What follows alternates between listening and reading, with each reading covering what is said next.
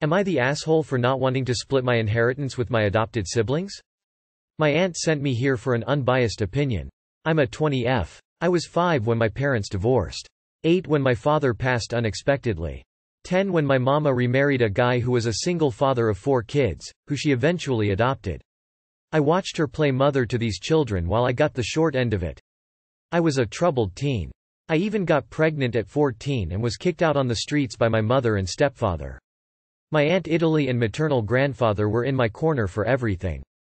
Especially my aunt. I consider her my mom and her kids my siblings. Everything I wished my mom had done for me, my aunt has and more. Her kids consider me their sibling and vice versa. She even had a college fund put to the side for me, which I'm on track of graduating from nursing school in the next year. She's never made me feel like me or my child are a burden. She's always treated me like I'm one of her children, nor is she afraid to make me fall in line when I'm in the wrong, lol. I honestly think the world of her, and I don't know where I would be without her. She was previously in the military but once learning I'd been put out, she left the military for good to help me raise my daughter. She also encouraged me to forgive my mother and try to build a relationship with her at my own pace, which I have done. It's not the greatest but it's better than what it used to be. I even spend the nights with her and her family sometimes. I lost my grandfather last year. Mom and Aunt Italy have the same mother but different fathers. I was left the majority of his estate, which will set me for life. My mother approached me and asked me, more like assumed, how much I planned to give my adopted siblings because my grandfather hadn't left them anything. I told her that I wasn't. That if anyone deserved anything it would be my aunt and my real siblings, though I know they would never accept anything from me. I told my mom that her kids weren't my siblings. I don't really have a relationship with them and they have their shady ways. She called me a selfish little, something that rhymes with punt. She and her family started harassing me which upset me. My Aunt Italy found out and paid her a visit. I don't know what transpired, but the harassing texts and calls stopped. I asked my aunt was I in the wrong. She told me no. That it was my decision what I wanted to do with my money, but that I shouldn't F it off on people who wouldn't do the same for me.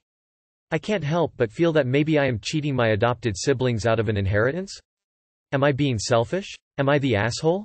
Not the asshole. You were left that money instead of your mother because your grandfather saw you were a good person and he thought you deserved it.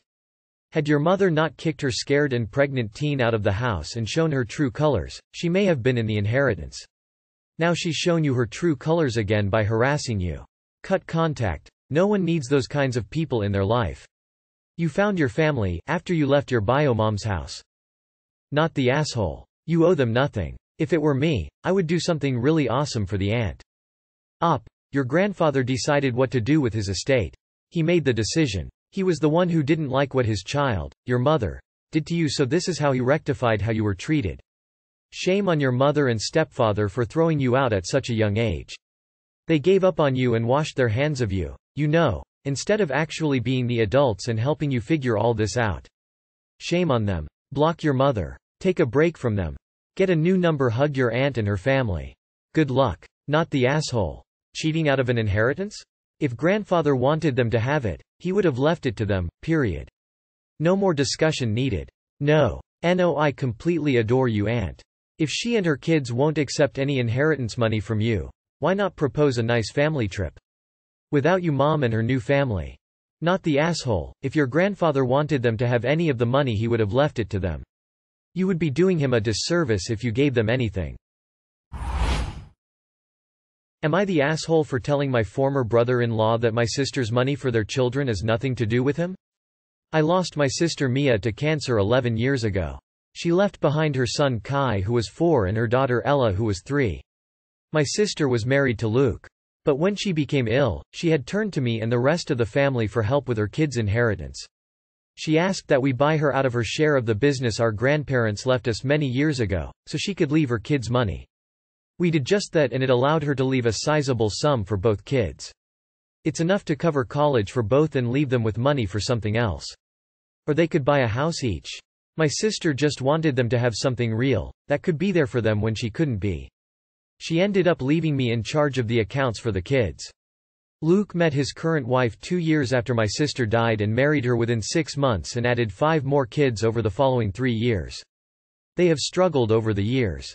One of his stepchildren has physical health issues, another is special needs and requires a lot of therapies. Money is often tight. We have been made aware of this by him over the years. He didn't know about the money until he actually read the letter my sister left for him which informed him of the existence of the money. Ever since he learned of it 18 months ago he has been determined to get his hands on it. He has accused me of letting my nephew and niece starve when I could have dipped into the account, which I can't and which I didn't, they never starved. He said I was dividing his family and so on. He told me that money needs to be split seven ways. That Mia was selfish to keep the money from his reach so he couldn't use it on all his kids. That it was selfish of her to come between his family after she died since he had been a loyal husband to her. One of his stepchildren ended up missing out on an opportunity due to a lack of money. He tried to get my niece and nephew to ask me for money for their step-sibling to do it, but the kids said in front of him that they wanted to keep the money in the account, which angered him. He told me I didn't have the right to do this, that his kids' money should be accessible by him, their father. I told him that the money my sister left for their children is nothing to do with him, that my sister made it so, and he needed to act like it doesn't exist since it doesn't for anyone but my nephew and niece. Let's just say he wasn't happy. Am I the asshole for what I said? Not the asshole. His children with another woman have no right to that money under any theory I can formulate. Not the asshole. I'm gobsmacked he thinks her inheritance should go to children that aren't hers. Not the asshole, not the asshole, not the asshole. Your sister was extremely smart to put you in charge of the money. She knew who to trust. I'm happy those kids have you looking out for them. Not the asshole but really, were you in doubt on that point? You said it yourself, there's a reason your sister wanted you to manage the trust instead of Luke, and it's because you're determined to make sure it goes toward giving them a good future. Not covering basic necessities he should have considered before taking on so many kids. Not the asshole. That money was intended as a trust for her kids, with you as trustee. You would violate your legal obligations as trustee, to use this money in a way other than how she set up. You might want to check with an attorney, or at the bank, and make sure the trust is set up properly, so he can't get to it. Also, be prepared he might try to challenge the trust, or your care of it, in court. This could be very bad, as money for such challenges comes out of the trust, for both parties. Line up your ducks, and don't back down. Of course not the asshole. This money due for her children, not his new children. I hope that money is well protected so he can't get his hands on it. Am I the asshole for telling a lady on the bus to shut up? Today I went out with some friends. There was 35 degrees Celsius, 95 degrees Fahrenheit, outside. I hate any temperature that goes above 30. I got on the bus and at the text next stop a lady sat down next to me. Even though there were plenty of other seats empty without anyone next to you. So that got me a little annoyed, but okay. After five minutes, she receives a phone call and doesn't bother to speak somewhat silently. Pretty sure everyone on the bus heard her. I was getting pretty pissed, but I put on my headphone. When she finishes the phone call, she tries to talk to me. I ignore her, but she keeps going, and eventually, she pokes me and at that point, I was mad. I take off my headphones, and say, Lady, you've been talking non-stop and I am pretty sick and tired of this so would you do me the favor of shutting the fuck up? She then tells me I am an uneducated asshole and gets off at the next station. So, Reddit, am I the asshole? Not the asshole. I'd have done the same thing. Not the asshole. I honestly can't abide by people who keep poking and prodding people wearing headphones. Like seriously, what life-threatening issue do you expect them to solve? Esh, everybody sucks here. So many different ways to handle a minor interaction like this. And don't blame the heat for your behavior. Not the asshole there's always a crazy person on the bus. In a city you don't bother a stranger unless it's life or death. If you blew up on her for talking that's one thing, but the poking is too far. She'd get her ass beat for that in some places.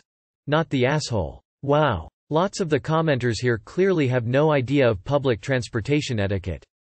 The woman in this story broke three cardinal pubic transportation rules and was breathtakingly rude. 1. Respect people's physical space. You do not sit, or stand, right next to someone you don't know if there are open seats available. 2. Respect people's mental space. Loud conversations, particularly phone conversations, are extremely obnoxious, compounded by breaking rule number 1. 3. Respect people's boundaries. Headphones are a clear and well-known signal of, leave me alone. If someone is wearing headphones, don't engage with them, they do not owe you their time or attention. Escalating it with poking is getting into assault territory as far as I'm concerned. Not the asshole. Don't blame you, you've done something I've been wishing I had the gut to do many times before. Military medal. Am I the asshole for not opening the door for the cops when I was babysitting? I'm a college student making some extra money babysitting this summer. I was staying at this family's house in a different neighborhood I wasn't familiar with, with their four-year-old and six-year-old for an evening. I was getting them ready for bed and I heard shots. I told the kids that it must be fireworks. I just got them in bed on the side of the house that wasn't near the street and sat quietly in their room for a bit until they were asleep. I heard some knocking on the door and I didn't move even when the guy called out that it was the police and wanted to talk. Now to some of y'all, that might seem weird.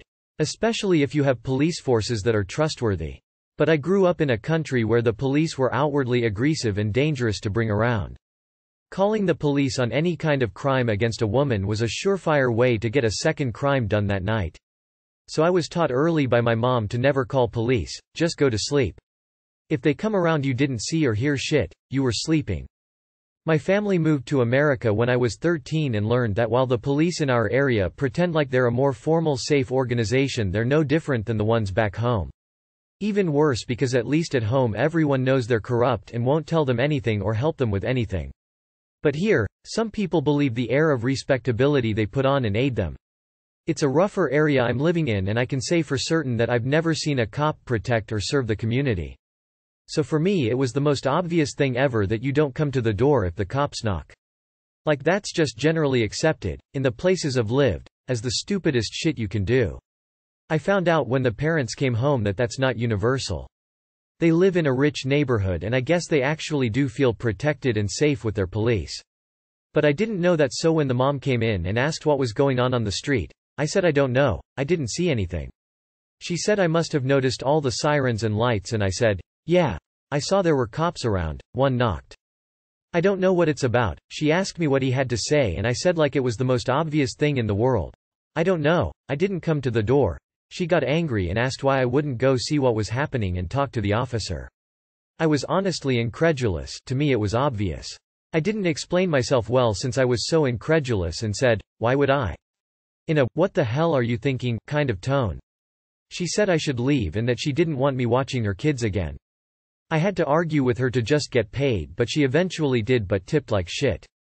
I'm curious about an outside opinion. Am I the asshole for not opening the door and not asking questions when I was babysitting and the police came around? Edit. Some of y'all seem to be missing some context. If you are asking yourself, wait why is talking to the police dangerous? And really don't know, I'd recommend this video by a lawyer explaining it well.